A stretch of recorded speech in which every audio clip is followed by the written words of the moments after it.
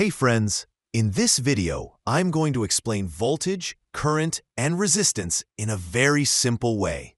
To make it clear, I'll use a familiar example, water. The movement of electrons in a circuit is a lot like water flowing through a pipe, and that's something we all understand. So stay with me until the end, and you'll fully learn these basic concepts.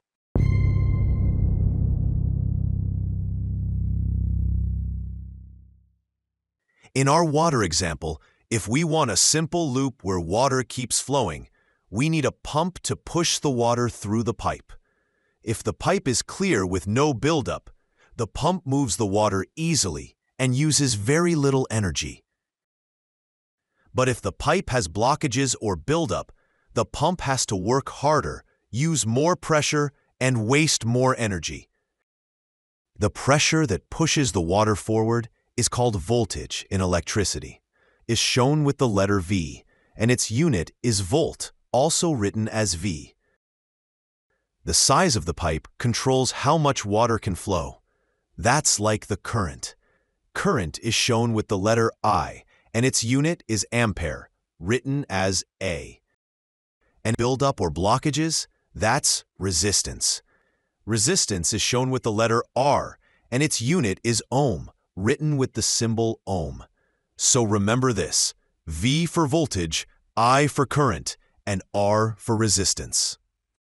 In the same way, just like water needs a pipe to flow through, electrons need a path too.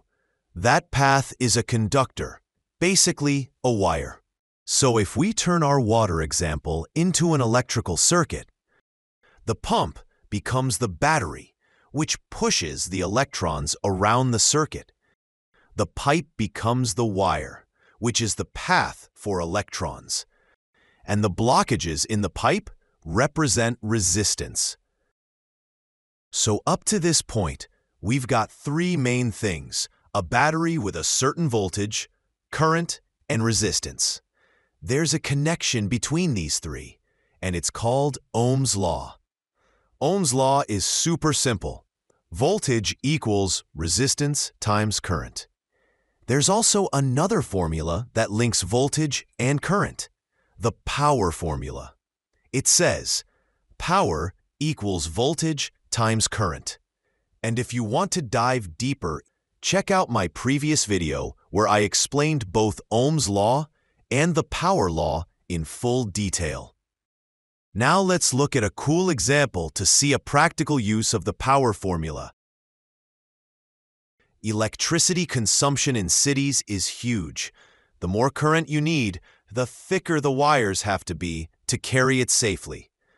But power plants are often far away from cities. That means the wires have to be really long. And if we try to make them thick enough to carry all that current, it quickly becomes impractical because of cost and weight. So what's the solution? Here's where the power formula comes to the rescue. If we want to transmit the same amount of power but reduce the current so the wire can be thinner, the only way is to increase the voltage. And that's the solution. At power plants, we raise the voltage as high as possible to reduce the wire thickness. This is done using step-up transformers. And sometimes, the voltage needs to go up to 400,000 volts, or 400 kilovolt. With this method, the huge power produced by a power plant can be transmitted through wires that are only a few centimeters thick. After the electricity reaches the city, the voltage is stepped down by step-down transformers, and the current increases, so the electricity can flow through the local distribution network at the standard 110 or 220 volts to reach homes. Now let's talk about the types of current. There are two kinds, alternating current, AC, this current keeps changing direction continuously. It's the same current produced in power plants and the one you get from wall outlets at home.